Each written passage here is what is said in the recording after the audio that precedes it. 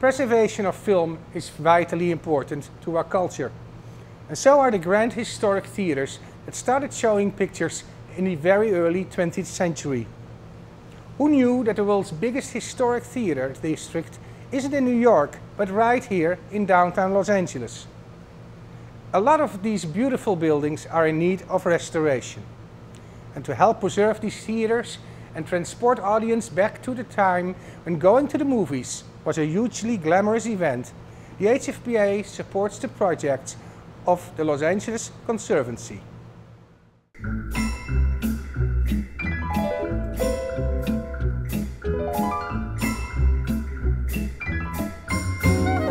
This is the largest historic theater district in the world, which most people have no idea.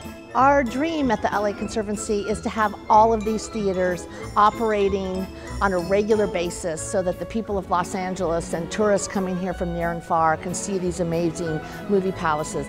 The Los Angeles Theater is the most opulent of the theaters on Broadway, although each of them have their own special story and their own special architecture.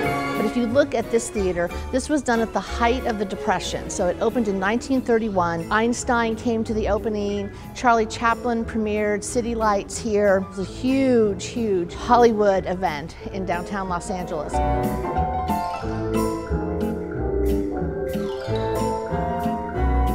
It's a great place. Did you see the cars outside? It's wonderful, eh? Great. I think this is great. We shot here, so I feel comfy.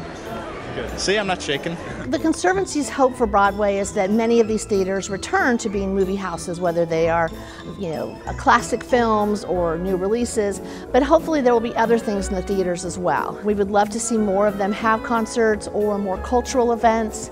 Things that are tied to the convention center are very popular now. When there are big conventions, they will have um, different activities in the different theaters. Very happy, ladies and gentlemen, gentlemen to uh, have you here in this beautiful, beautiful, magnificent theater. Our goal is just to get people out into these theaters so that they understand what we have and why they're important and why they need to be saved.